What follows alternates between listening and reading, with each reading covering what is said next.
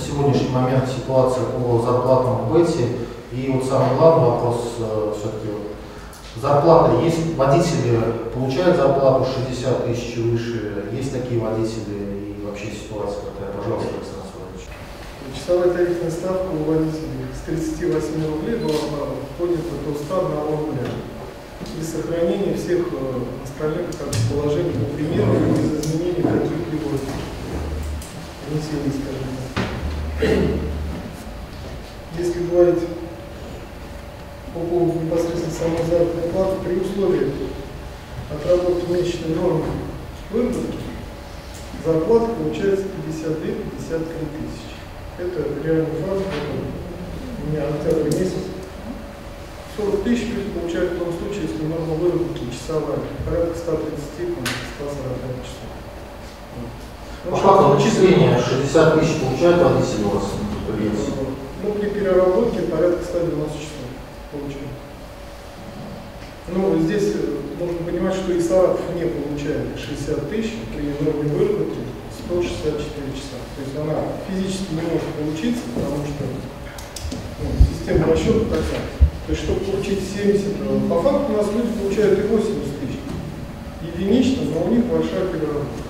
То есть это есть. То есть при 164 часах в месяц выработки зарплата 52 тысячи рублей что Панков летом заявлял, это просто обычное пиарство было, да, на которое вообще комбинат не смог ничего не отреагировать. Так получается? Почему? Ну, вот вы сейчас задаете вопрос, который не имеет отношения вообще к данной теме. Здесь Да, идет перечисление денег. Вы, вы начинаете упоминать о Панкове, то, что он там пиарился до выборов. А есть ли зарплата 60 тысяч, нет зарплаты. Вот мы сейчас получаем, что работник, который просто работает без нагрузок, не получает 60 тысяч. То есть Панков просто пиарился, выводя свою инициативу в 60 тысяч рублей. Вы сами сейчас слышите подтверждение, что нет этого.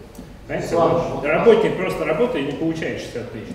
То есть это просто просто глупый пиарство работает. было. Как просто У них сейчас на сегодняшний день в троллейбусном предприятии заработная плата водителей, я думаю, сопоставима с э, заработной платой водителей ведущих предприятий э, топливно-энергетического комплекса.